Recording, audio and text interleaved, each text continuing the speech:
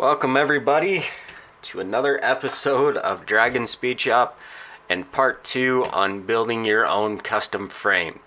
Uh, so last video we uh, got all our lines laid out, um, all our marks that we need so we can actually start building a custom frame.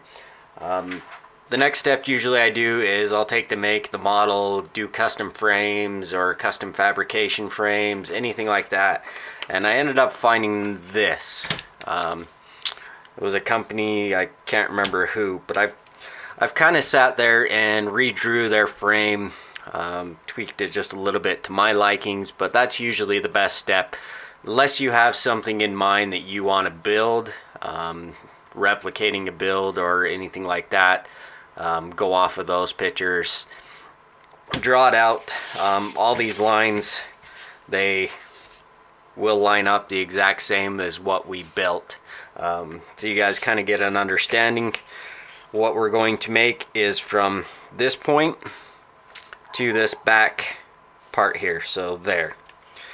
Um, we're only going to here because this is where the frame actually starts to bend up to clear for the front suspension and also for the rear suspension. So our main focus in this video is just kind of the center section of the vehicle. Um, through the magic power of YouTube, everything like that, I have all the parts, let's see, cut out here. Let's see, I need my drawing. So we have two center bars, two little angled bars, and then off of those we have, let's see, they go that way.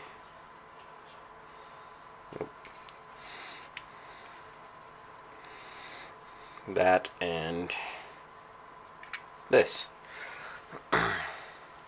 So there you go, rough part of the frame. Um, for actually making the frame,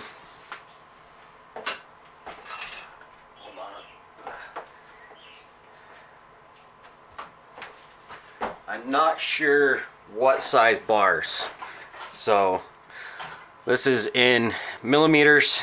This one wide is 3.2 and then it is 1.9 that way. Um, this one will be a square bar of 3.0. I'm not sure what size they are. I just have a bunch of this stuff laying around and I absolutely love it for frames. So the bigger square one is what the outline of the frame is. The smaller thinner stuff will be on the inside part of the frame. So as it comes for gluing, um, I'm a big fan of this. Tamiya, extra thin. I'm really, really happy with it. Uh, to keep your frame straight, um, you can make jigs, you can eyeball it, or anything like that. Uh, right in front of you is my custom squares. Um, they make lining up frames a super super nice to do um, keeps everything in line right where it should be keeps everything nice and square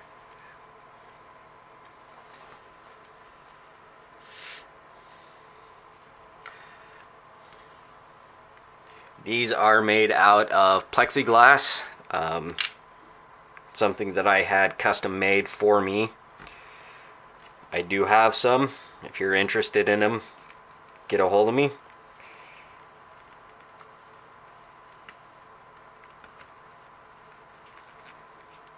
Put a little bit too much in there.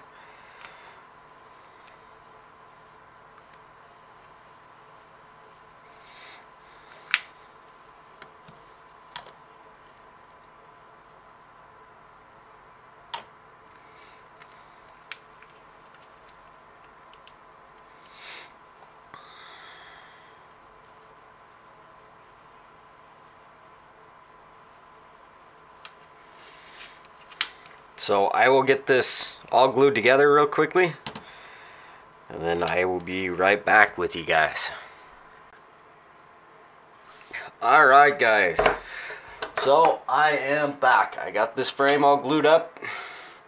So, here she is. The start of it. Still got a lot of cleaning up to do, everything like that, but this is the basics of what the frame is. Don't mind my big gaps over here, my jig doesn't cut that angle. But I can fix it. So, that's what we built. It differs from the picture a little tiny bit. Yours probably will too, depending on how exact and how precise you want to be. Um, so we know that's what we have built.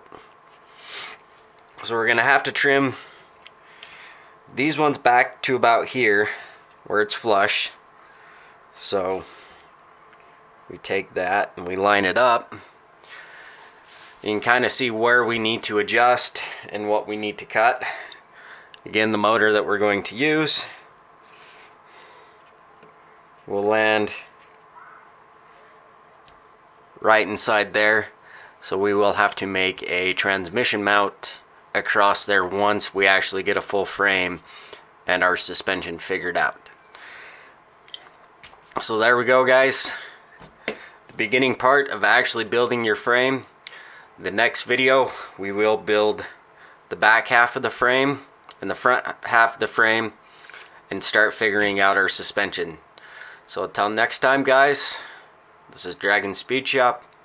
Thank you for tuning in. I'll catch you next time.